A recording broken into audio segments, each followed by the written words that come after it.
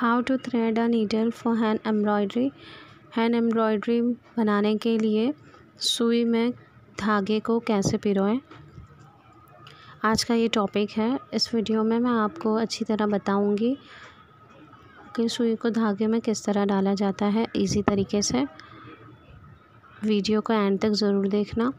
अगर आप first time मेरा चैनल देख रहे हैं वीडियो देख रहे हैं तो please like share and subscribe to my channel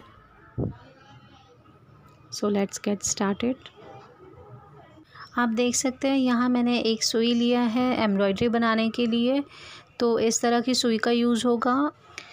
और आप देख सकते हैं, इस तरह का धागा लेना है हमें। एम्ब्रॉयडरी बनाने के लिए सिक्स स्ट्रेंथ वाले धागे यूज़ होते हैं, उसको हम बीच में से अलग कर देते हैं। किसी दो स्ट्रेंथ में ले लेते हैं, कहीं पर हम तीन स्ट्रेंथ में यूज़ करते हैं और कहीं सिक्स स्ट्रेंथ में यूज़ करते हैं हम। तो फ़िलहाल मैं आपको बताऊँगी कि सिक्स स्ट्रेंथ में किस तरह से इनको अलग करना है इन धागों। मैं अभी मैंने हाथ में जो धागा लिया है, उनको मैं अलग करके आपको दिखा रही हूँ कि सिक्स स्ट्रेंथ किसको बोलते हैं, किसको कहा जाता है। तो देख सकते हैं आप, ये एक धागा है और ये दूसरा, तीसरा, आप देख सकते हैं टोटल इसमें सिक्स धागे हैं छः धागे हैं इसके अंदर। उनको हमें, अगर ये दो धागों का है तो उसको स्ट्रेंथ टू स्ट्रैंड यूज़ कर रही हूँ मैं, इस तरह कहा जाएगा। छः धागों का है या तीन धागों का है तो उसको कहा जाएगा तीन धागों का यूज़ कर रहे हैं, यानी कि थ्री स्ट्रेंथ एंड सिक्स है तो सिक्स स्ट्रेंथ्स ठीक है? तो अब आप देख सकते हैं, मैंने इसको अलग कर लिया है, आपको दिखा लिया है, मैंने दिखा दिया है। आप देख सकते हैं कि इस तरह का जो छः धागों वाला स्ट्रेंथ होता है, हमें एम्ब्रॉयडरी में इसी को यूज़ करना होता है ज़्यादातर। तो इसको मैंने अलग करके इस तरह से भी आपको दिखा दिया था।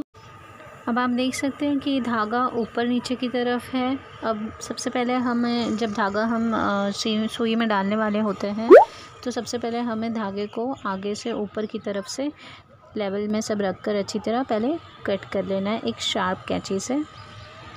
तो आप देख सकते हैं, यहाँ मैं कैंची से कट कर रही हूँ धागे को।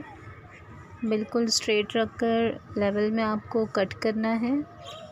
और फिर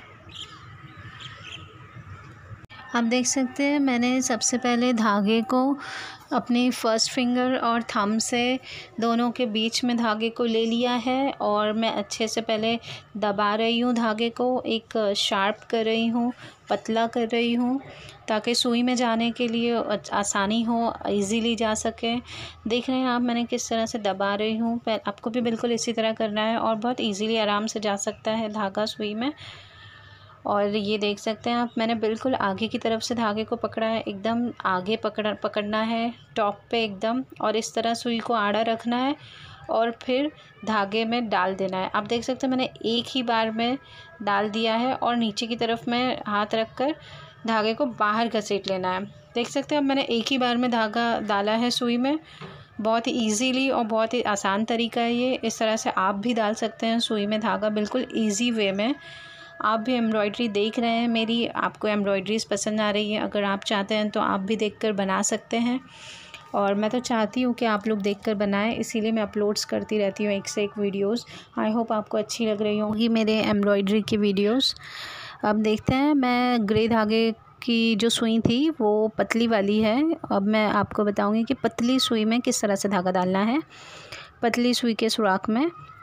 ग्रे धागा डला हुआ था ऑलरेडी तो उसको मैं निकाल के आपको दिखा रही हूँ। एंड नाउ आप देख सकते हैं, इतना पतला सुराख है इसमें। और ये जो धागा है ग्रे वाला, ये थ्री स्ट्रैंड वाला है। इसके अंदर आप देख सकते हैं, तीन धागे हैं। मैं आपको अलग करके दिखा रही हूँ, एक, दो, और ये तीन इस तरह से तीन धागे हैं इसके अंदर। तो ये थ्री स्ट्रैंड वाला धागा है। देख सकते हैं आप। आपको बता रही हूँ, कट करना है। कि कट करना है क्योंकि धागा ऊपर नीचे होता है तो कट करना बहुत ही इंपॉर्टेंट पार्ट है।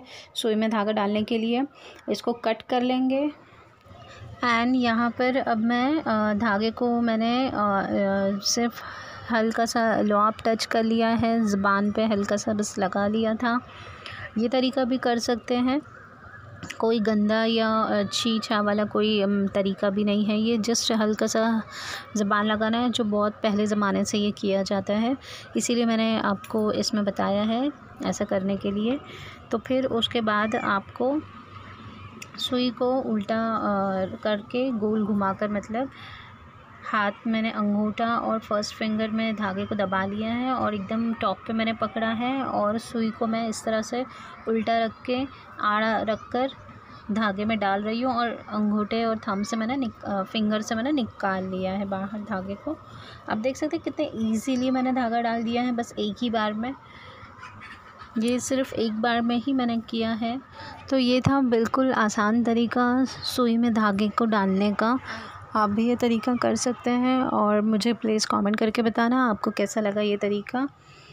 एंड वीडियो पसंद आए तो लाइक शेयर एंड सब्सक्राइब ज़रूर करना। एंड थैंक्स फॉर वॉचिंग मिलती हूँ आपको मेरी नेक्स्ट वीडियो में।